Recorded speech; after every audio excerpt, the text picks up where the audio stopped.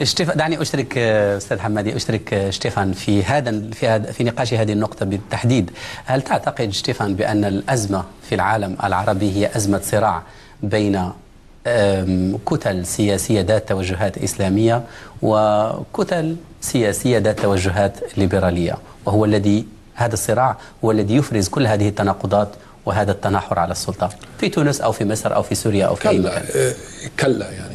لا يوجد هناك منافسة بين قوى إسلامية وقوى ليبرالية. يعني هذا الوصف غير صحيح بالمرة.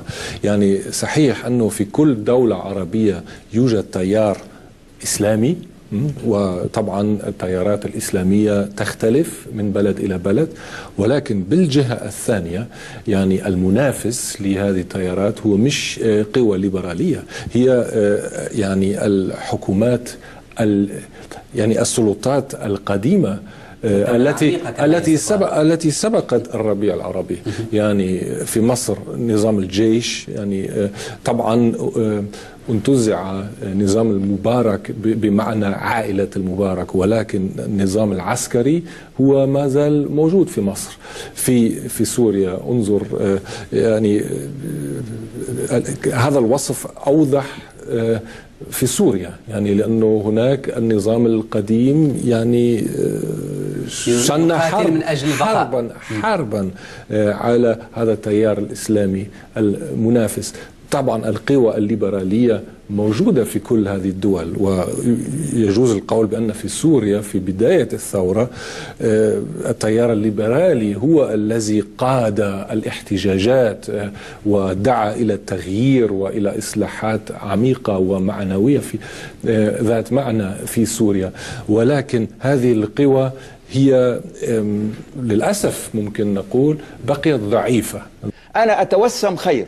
وأن مصر بناء على هذا الدستور ستنهض وستحقق الديمقراطية وستحقق الرفاهية وستلم الشعوب العربية حولها مثل ما كانت في الستينيات هذا ليس بالحلم هذا واقع لكن نحن نعم. في حاجة إلى عشرة إلى عشرين سنة ستيفان هل ترى بأن كيف يعني كيف مصر تحقق الديمقراطية عندما يعني السلطة الراهنة تصف يعني حركة الإخوان المسلمين حركة إرهابية يعني في الوقت الحاضر. هي, هي مش أساليب ديمقراطية يعني. هذم يرمون القنابل ويقتلون الناس. أول أمس قتلوا 14 طيب ناخب الجيش كمان 14 ناخب الجيش الجيش كمان قتل ناس. ليست هناك الجيش كمان. قتل ناس. الجيش لم يحقق حتى في المذابح التي وقعت أمام تكناته في القاهرة. الجيش كمان وهو الذي أطلق ناس. الجيش على المتظاهرين إن كانوا من الإخوان أو غير ذلك. شو يا أخي؟ أنتم تحاولون تبرئة الإخوان.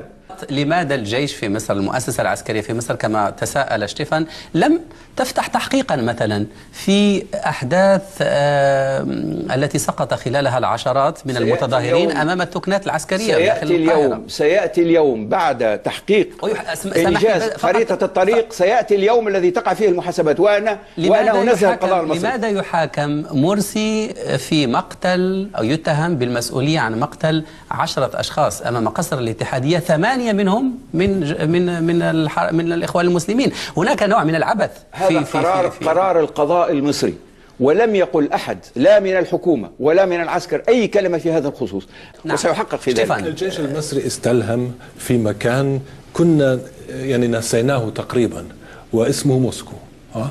يعني الجيش المصري آه، عنده علاقات له علاقات آه، تاريخية تعود إلى الستينات وإلى الخمسينات حتى آه، يعني آه، تربط بين المؤسسة العسكرية الروسية يعني الجيش الأحمر في تلك الأيام وحسني مبارك حسن حسني مبارك آه، هو وين راح حتى يتعلم أن يكون طيار في موسكو ها؟